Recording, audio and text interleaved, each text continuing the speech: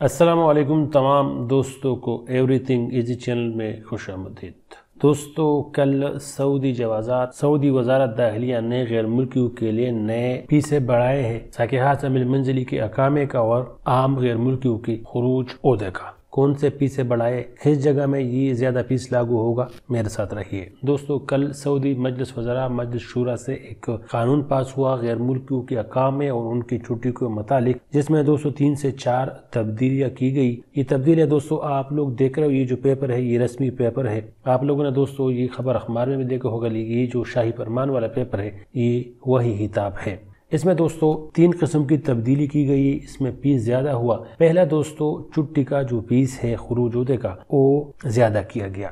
आप लोग दोस्तों जानते हो कि दो किस्म की छुट्टी है, एक मल्टीपल छुट्टी है, दूसरा सिंगल एंट्री है।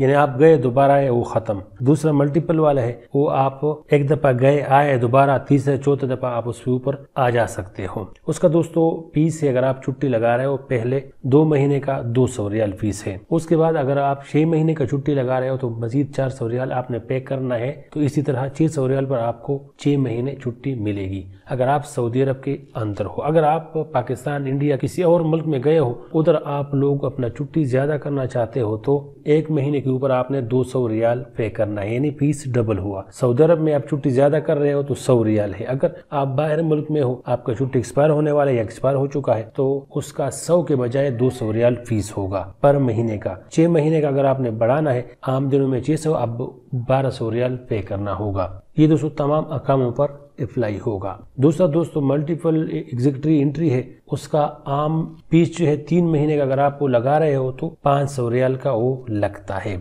और अगर आप उसमें मजीद इजाफा करना चाहते हो सऊदी अरब में अंदर तो दो सौ रियाल का मजीद महीना आपको पड़ेगा। लेकिन अगर आप अपने मुल्क में गए हो, उसके बाद आप अपना छुट्टी तमदीद करना चाहते हो, उसको एक महीना, दो महीना बढ़ाना चाहते हो तो फिर आपको दो सौ के बजाय चार सौ रियाल पर महीना देना होगा। ये दोस्तों, नया पीस लगाया गया है, इसको डबल किया गया है। दोनों में दोस्तों शर्त यह है कि आपके अकाउंट में टाइम मौजूद हो। अगर नहीं है तो पहले आपने अकामा बढ़ाना है, उसके बाद आपने छुट्टी बढ़ाना है। आम जो छुट्टी है जिस पर हम लोग जाते हैं सिंगल एंट्री वाला तो वो सऊदी अरब में दो महीने दो सौ रियाल के लगते हैं और बाकी सौ रियाल के। अगर आप उधर से तमदीद करना चाहते हो, अपने मुल्क से तो फिर दो सौ रियाल पर महीना आपको देना होगा। तीसरा दोस्तों, जिसमें तब्दीली की गई है, वो भी गैर मुल्कियों के मुतालिक है। अगर किसी गैर मुल्की के साथ मुराफिकीन है उसका फैमिली है, उसके साथ सह हादसा मिल मंजिली है, अगर उसका अकामा एक्सपायर हो जाए, वो बाहर मुल्क में मौजूद हो और उसका कफील साहिब उसरा उसका अकामा तमदीद करना चाहता है तो अगर अकामे के बारह सौ रियल पीस है या छः सौ रियल पीस है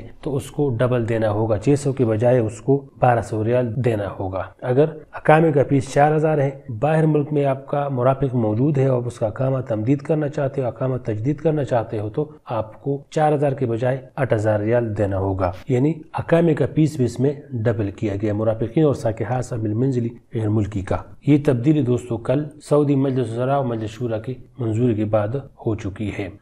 वीडियो देखने का बहुत बहुत शुक्रिया सलामकुम